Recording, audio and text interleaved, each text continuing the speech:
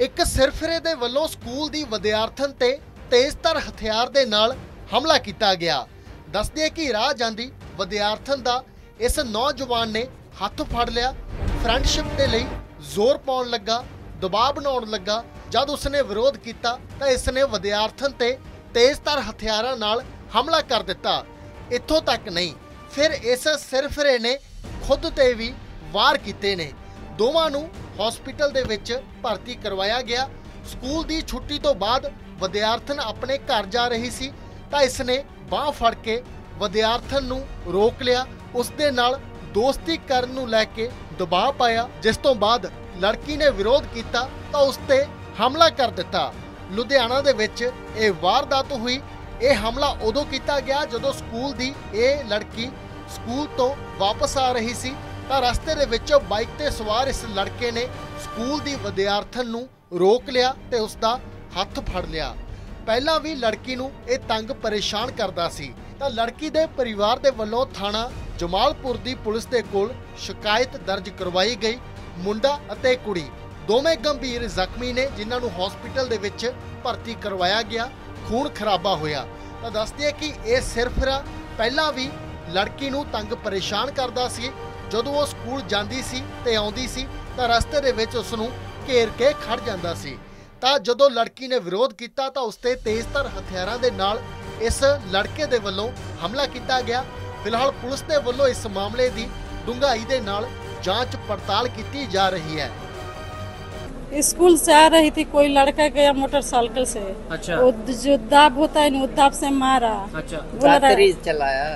अच्छा। बोल रहा है कि हमारा से बात करो तो वो बोली कि हम बात नहीं करेंगे। नहीं इसमें मारा क्यों उसने आपकी लड़की को?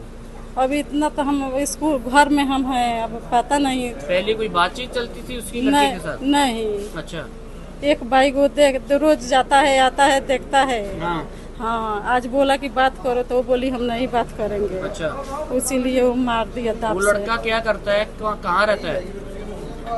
वो उधर रहता है। अभी इतना तो हमारा पता नहीं कि कहाँ रहता है कहाँ नहीं। उसी गली में रहता है। अगल बगल अगल बगल उसी गली में रहता है। अच्छा। रमन नाम है उसका। अच्छा।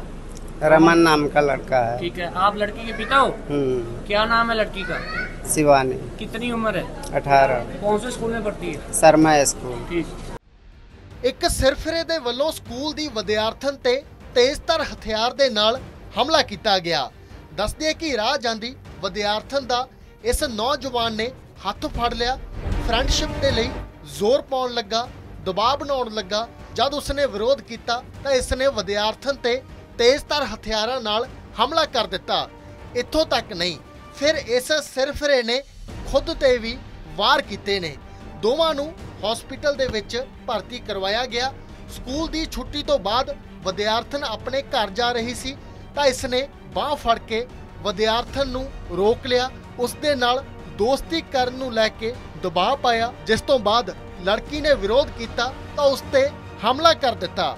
ਲੁਧਿਆਣਾ ਦੇ ਵਿੱਚ ਇਹ ਵਾਰਦਾਤ ਹੋਈ। ਇਹ ਹਮਲਾ ਉਦੋਂ ਕੀਤਾ ਗਿਆ ਜਦੋਂ ਸਕੂਲ ਦੀ ਇਹ ਲੜਕੀ ਸਕੂਲ ਤੋਂ ਵਾਪਸ ਆ ਰਹੀ ਸੀ। ਤਾਂ ਰਸਤੇ ਦੇ ਵਿੱਚ ਬਾਈਕ ਤੇ ਸਵਾਰ ਇਸ ਲੜਕੇ ਨੇ ਸਕੂਲ ਦੀ ਵਿਦਿਆਰਥਣ ਨੂੰ ਰੋਕ ਲਿਆ ਤੇ ਉਸ ਦਾ ਹੱਥ ਫੜ ਲਿਆ। ਪਹਿਲਾਂ ਵੀ ਲੜਕੀ ਨੂੰ ਇਹ ਤੰਗ ਪਰੇਸ਼ਾਨ ਕਰਦਾ ਸੀ। ਤਾਂ ਲੜਕੀ ਦੇ ਪਰਿਵਾਰ ਦੇ ਵੱਲੋਂ ਥਾਣਾ ਜਮਾਲਪੁਰ ਦੀ ਪੁਲਿਸ ਦੇ ਕੋਲ ਸ਼ਿਕਾਇਤ ਦਰਜ ਕਰਵਾਈ ਗਈ। ਮੁੰਡਾ ਅਤੇ ਕੁੜੀ ਦੋਵੇਂ ਗੰਭੀਰ ਜ਼ਖਮੀ ਨੇ, ਜਿਨ੍ਹਾਂ ਨੂੰ ਹਸਪੀਟਲ ਦੇ ਵਿੱਚ ਭਰਤੀ ਕਰਵਾਇਆ ਗਿਆ। ਖੂਨ ਖਰਾਬਾ ਹੋਇਆ। ਤਾਂ ਦੱਸਦੇ ਕਿ ਇਹ ਸਿਰਫਰਾ ਪਹਿਲਾਂ ਵੀ ਲੜਕੀ ਨੂੰ ਤੰਗ ਪਰੇਸ਼ਾਨ ਕਰਦਾ ਸੀ। ਜਦੋਂ ਉਹ ਸਕੂਲ ਜਾਂਦੀ ਸੀ ਤੇ ਆਉਂਦੀ ਸੀ, ਤਾਂ ਰਸਤੇ ਦੇ ਵਿੱਚ ਉਸ ਨੂੰ ਘੇਰ ਕੇ ਖੜ ਜਾਂਦਾ ਸੀ। ਤਾਂ ਜਦੋਂ ਲੜਕੀ ਨੇ ਵਿਰੋਧ ਕੀਤਾ, ਤਾਂ ਉਸ ਤੇ ਤੇਜ਼ਧਾਰ ਹਥਿਆਰਾਂ ਦੇ ਨਾਲ ਇਸ ਲੜਕੇ ਦੇ ਵੱਲੋਂ ਹਮਲਾ ਕੀਤਾ ਗਿਆ। ਫਿਲਹਾਲ ਪੁਲਿਸ ਦੇ ਵੱਲੋਂ ਇਸ ਮਾਮਲੇ ਦੀ ਡੂੰਘਾਈ ਦੇ ਨਾਲ ਜਾਂਚ ਪੜਤਾਲ ਕੀਤੀ ਜਾ ਰਹੀ ਹੈ। स्कूल से आ रही थी कोई लड़का गया मोटरसाइकिल से। अच्छा। वो जो दाब होता है ना वो दाब से मारा। अच्छा। बोल रहा है चलाया। अच्छा। बोल रहा है कि हमारा से बात करो तो वो बोली कि हम बात नहीं करेंगे। नहीं इसमें मारा क्यों उसने आपकी लड़की को? अभी इतना तो हम स्कूल घर में हम हैं अब पता नहीं। पहले कोई बातचीत चलती थी उसकी लड़के के नहीं साथ? नहीं। अच्छा। एक बाइक वो देख रोज जाता है आता है देखता है। हाँ। हाँ आज बोला कि बात करो तो वो बोली हम नहीं बात करेंगे। अच्छा। इसीलिए वो मार दिया दाब वो लड़का क्या करता है? कहाँ कहाँ रहता है? वो उधर रहता है अभी इतना तो हमारा पता नहीं कि कहाँ रहता है कहाँ नहीं। उसी गली में रहता है। अगल बगल अगल बगल उसी गली में रहता है। अच्छा। रमन नाम है उसका। अच्छा। रमन नाम का लड़का है ठीक है आप लड़की के पिता हो हम्म क्या नाम है लड़की का शिवानी कितनी उम्र है अठारह कौन से स्कूल में पढ़ती है शर्मा स्कूल ठीक